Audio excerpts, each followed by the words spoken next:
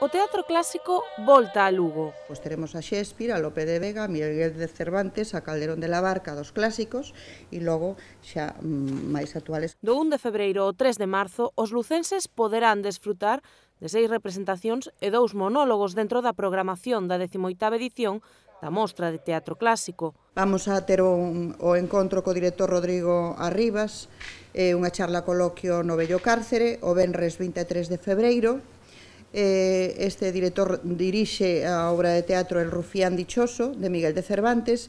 La comedia de las mentiras, interpretada por Pepón Nieto, María Barranco e Paco Tous, entre outros, será encargada de abrir o festival no Auditorio Municipal Gustavo Freire, pero tamén se quere achegar o teatro clásico á rúa. O sábado 17 de febreiro, antes de que comece a todo o teatro e para o remate o 3 de marzo eh, hai intervencións na rúa, no fondo da Praza Maior, ás 12 horas, eh, de Espazo Artístico 10 e os Palimoquiños, eh, quen ocupa esa cadeira, en donde tamén bueno, pois nos atoparemos con Shakespeare. As entradas poderánse mercar dende o 20 ao o 30 de xaneiro na páxina web entradaslugo.es en oficina de turismo.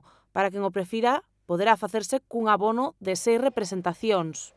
As actividades culturais non rematan aquí.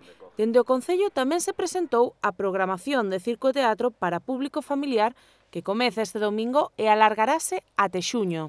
E o que pretendemos bueno, pois, é chegar ás familias eh, a un espazo de lecer, mm, en donde podan disfrutar cos máis pequenos e cas máis pequenas do teatro, do circo, bueno, pois, para que disfruten todos xuntos e para romper tamén pois, rutinas. Os amantes da música tamén terán o seu espazo no Bello Cárcere co proxecto Músicas Mesturadas é un espacio algo especial, son músicas especiales para ese espazo ademais en donde, bueno, o sentimento, a música, a fusión, o a interpretación de, de, de música mesturada pois vai a ter cabida eh, en ese espazo como é o Bello Cárcere, o patio do Bello Cárcere. Actividades culturais para todos os gustos e idades que encherán Lugo de música e teatro os primeiros meses deste ano.